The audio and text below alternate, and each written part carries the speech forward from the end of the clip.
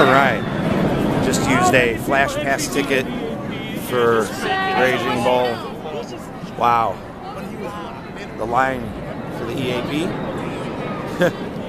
goes all the way from start down and around the corner. And I, I know a lot of these people probably don't need it.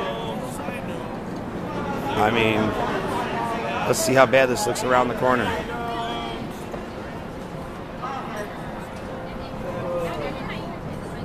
See. I have no idea. Oh, it's an Abby. I feel like we have to wait in a line to get out of line. That's crazy. Well, welcome to Fright Fest, huh? What are you recording? Because I have a broken ankle. I'm not even talking about you, but you're going on YouTube. Good. Good. Good. You're not part of the problem. So, that's crazy though. So, yeah. That's pretty much your wait with uh, no more than four people, your group for the whole train.